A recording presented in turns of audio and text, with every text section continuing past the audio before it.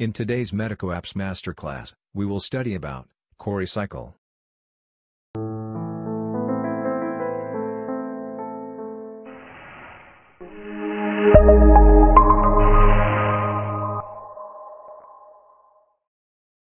First of all, as we know, muscular activities requires ATP as a energy source which is provided by glucose when the oxygen levels are normal. As we have studied, in the glycolysis cycle, glucose is converted into pyruvate to produce ATP with the help of NAD plus conversion to NADH. But what if oxygen levels are low, or no oxygen is present in conditions, as in intense exercise or hypoxic conditions? In such conditions, another mechanism which we are going to study in detail today, Cori cycle takes place. Let's start the cycle by knowing how does it works and where does it occurs. As mentioned earlier, if the oxygen levels are low, more ATP is required by the muscles. That means more glucose is required.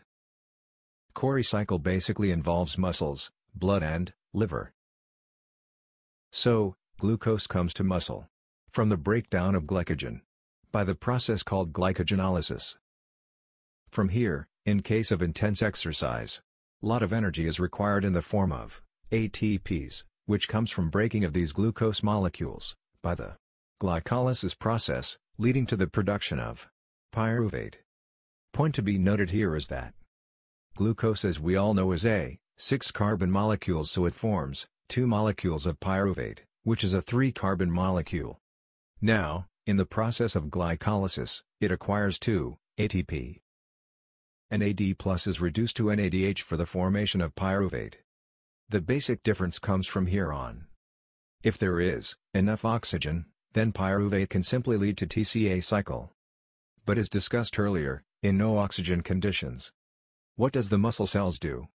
What is the process then muscles acquire energy that is ATPs from? Okay, so here comes the answer to all the questions.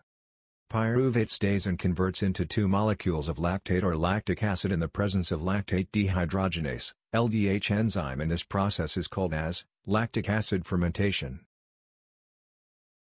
Another point to see here is, during this conversion NADH oxidizes to NAD plus again, and this reaction is called as anaerobic metabolism. Now, lactate or pyruvate produced in the skeletal muscle cannot synthesize glucose due to lack of gluconeogenesis enzymes. This lactate is then carried through blood and transported to liver. From here, lactate is then oxidized to pyruvate as liver has aerobic conditions.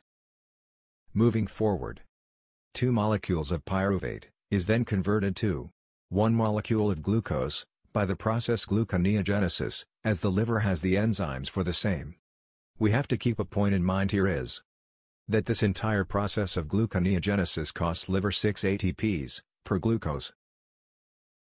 But this seems to be a worth cost, as glucose is available for the skeletal muscles through the blood, to generate further ATPs.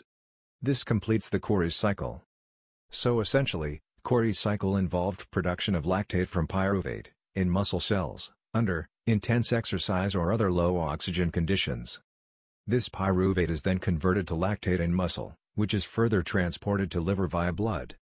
In liver the lactate is converted back to pyruvate and this pyruvate is further converted back to glucose using 6 moles of ATP.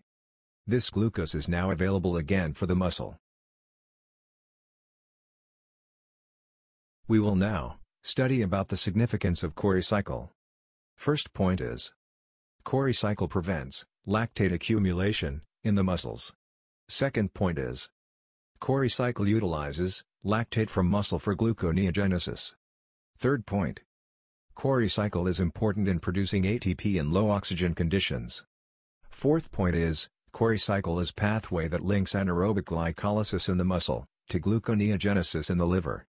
Fifth point is, Cori cycle takes place in liver, blood and muscle. Lastly, the important exam points in the Cori cycle are Point number 1.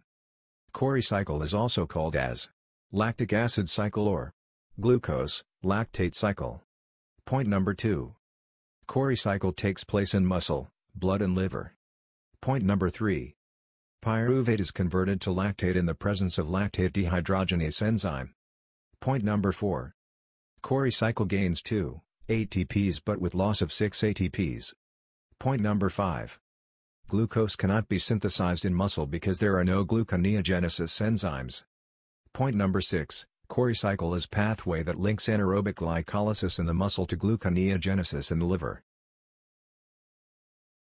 Let us end today's MedicoApps masterclass by having a look at the brain teaser question for today.